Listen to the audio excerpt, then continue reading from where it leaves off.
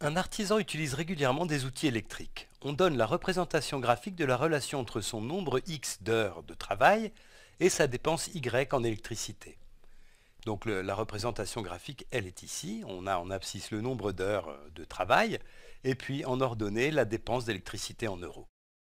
Quelles sont les propositions vraies Et on nous dit de choisir toutes les réponses possibles. Donc ça veut dire qu'il peut y en avoir plusieurs. Alors je te laisse lire ces trois réponses qui sont proposées et mettre la vidéo sur pause pour essayer de répondre tout seul et ensuite on se retrouve pour le faire ensemble. Alors on a ici la représentation graphique de la relation qui existe entre le nombre d'heures travaillées et la, dépense d'électricité en euros et on voit que c'est une droite qui passe par l'origine. Donc ça, ça veut dire que la relation qui existe entre le nombre d'heures x et la dépense y en électricité eh bien, c'est une relation de proportionnalité. Autrement dit, on va avoir quelque chose comme ça, la relation va être de cette forme-là, y qui est donc la dépense, c'est k fois une certaine constante, k, qui est le coefficient de proportionnalité, multiplié par le temps euh, de travail, donc le temps euh, d'utilisation de l'électricité pendant les heures de travail. Voilà, ça c'est typique d'une relation de proportionnalité, hein, représentée par une droite qui passe par l'origine, et ça, c'est la forme d'une relation de proportionnalité, avec le K qui est donc le coefficient de proportionnalité.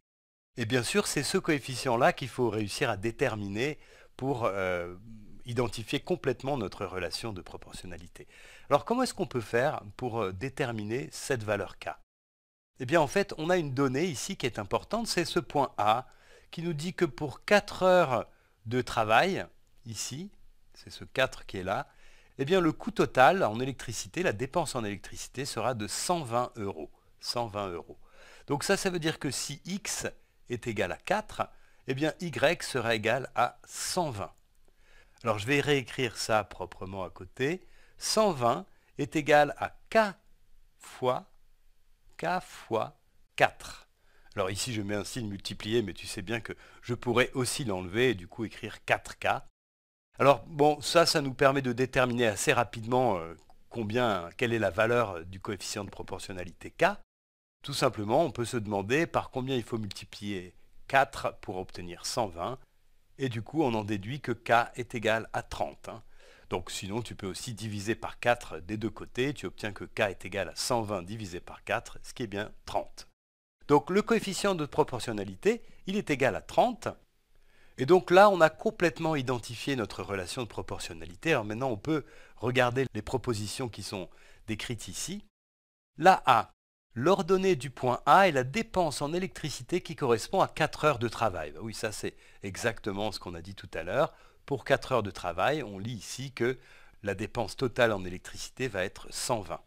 Donc l'ordonnée du point A, c'est bien la dépense en électricité qui correspond à 4 heures de travail. Donc ça, c'est une bonne réponse, je la prends. Ensuite, on va regarder la suivante. L'électricité lui coûte 35 euros par heure de travail. Alors ça, c'est pas vrai, puisqu'on a dit que la relation, c'était y égale 30 fois x, hein, où x est le nombre d'heures de, travail. Et pour trouver la dépense en électricité correspondant à une heure de travail, il faut remplacer x par 1, et on obtient y égale 30 fois 1, c'est-à-dire 30. Alors une petite parenthèse ici, il faut faire attention à ne pas confondre le coefficient de proportionnalité et la dépense en électricité pour une heure de travail. Hein.